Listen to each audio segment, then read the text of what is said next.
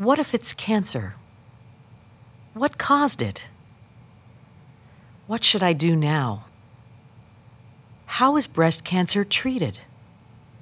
How long will treatment take? What will it be like? Will I be okay? What about my family?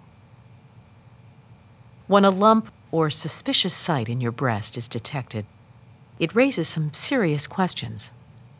In this chapter, we are going to do our best to answer them. We will discuss what doctors know and do not know, how to react to your diagnosis, as well as how to understand it, and how to move beyond the shock. So, what do scientists actually know about the causes of cancer? It's a difficult question. Cancer grows when a cell's DNA is damaged, which we discussed in Chapter 3. But why or how that DNA becomes damaged is still unknown.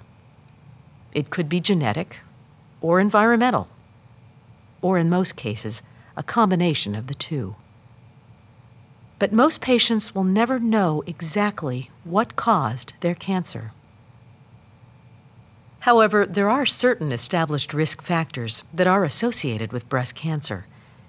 A family history with breast cancer, early menstruation, before age 12, late menopause, after 55, breast tissue that is more dense with lobular and ductal tissue relative to fatty tissue, non cancerous cell abnormalities. These factors are genetic, they are not something you can control. 60 to 70 percent of people with breast cancer have no connection to them at all, and other people with risk factors will never develop cancer.